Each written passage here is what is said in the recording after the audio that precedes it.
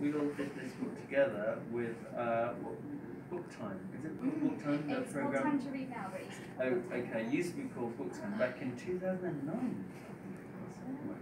We gave it away to a few. Mr. Big.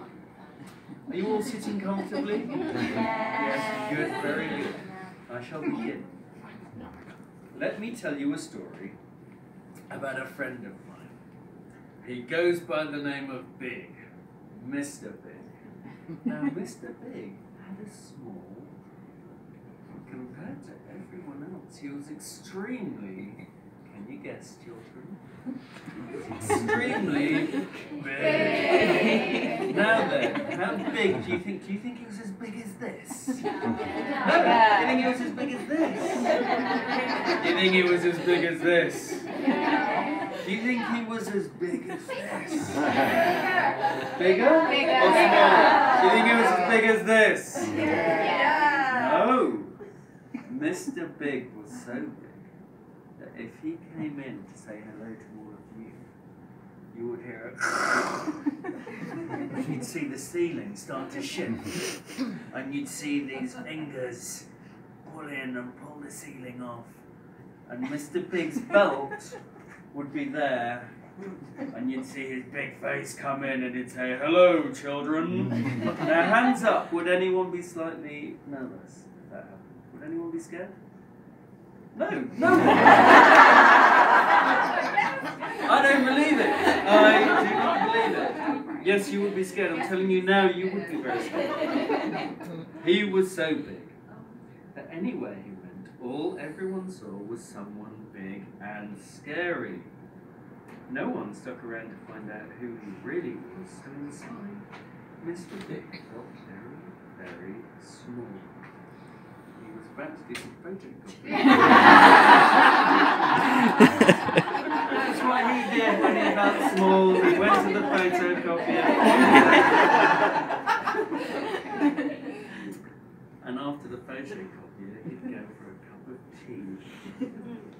And when he went to a cup of tea, everyone had other things to do. Can you see? Are they coming in or are they going out?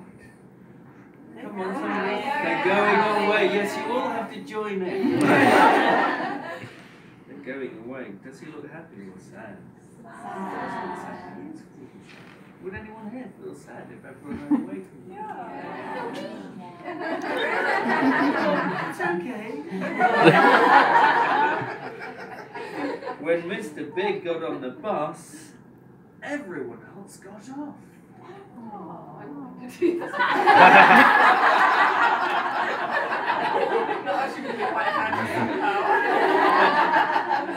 And when Mr. Big went to the pool, well, let's just say everyone needed to be somewhere else. No one ever is the real Mr. Big. So he was happy. Sad. Hands up if you feel sad. Hands up if you feel happy. Any misanthropes?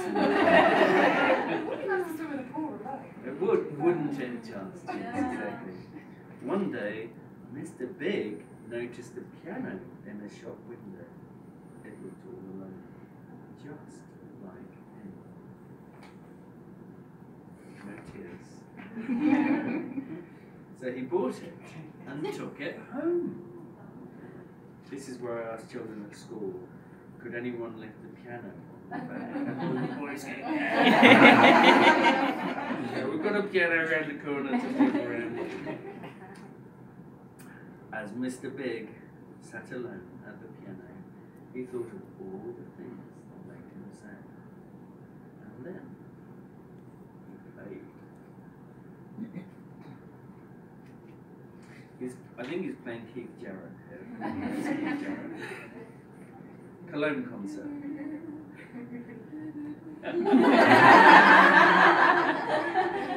Yeah, we can pause for a moment.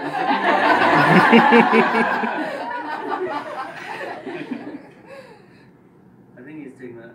What's that one that goes, "I'm not alone." uh, something like that. I can't sing. Uh,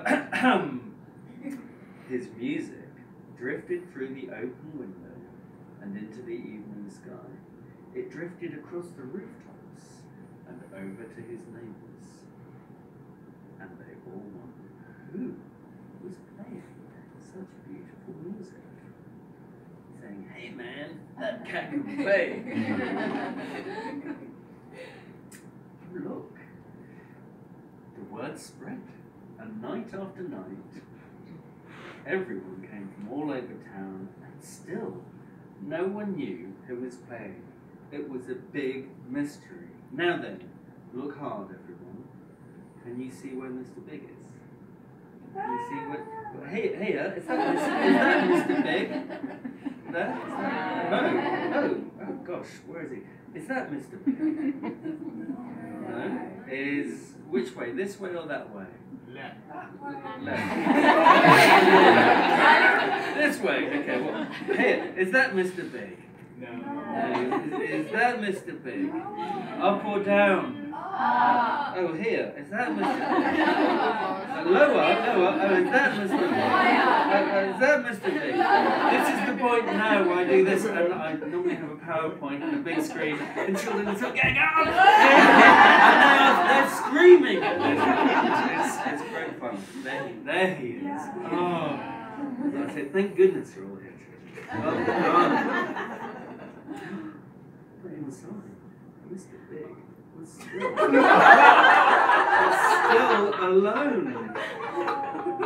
Oh dear. He doesn't know anyone's outside listening. and then, one morning, Mr. Big received his first ever letter. Can anyone read what that says? Be a pianist. Now, hands up if anyone knows what a pianist is. no? Someone who plays the piano. That's Mr. Big's breakfast.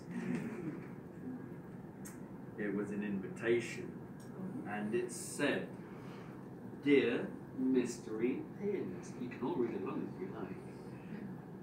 Thank you for your beautiful music. Everyone's been listening to you for weeks, and we're all wondering one thing. Who are you? We'd love to meet you. Me and a couple of the guys are playing tonight at the Blue Note. Please come and join our band. See you later, a friend. Wonder, who do you think wrote that letter? Any ideas? Emily, who do you think? Because you haven't read this story before, have you? No.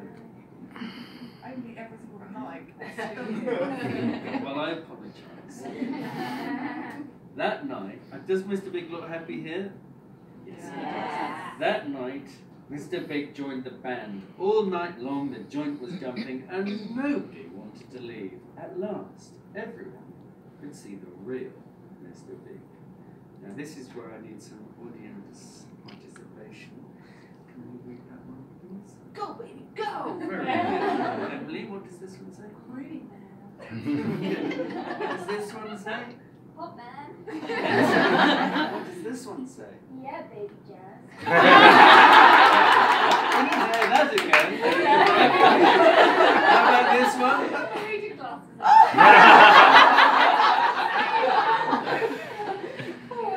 Yeah, cool. Uh, oh, there we go. What about oh. He's He's cooking patio. this? Daddy-o. Daddy. And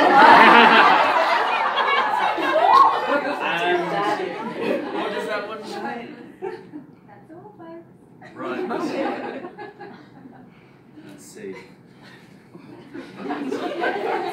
now that the big band has hit the big time and everyone wants to meet them, Mr. Big has a new problem. He doesn't get much time to be around.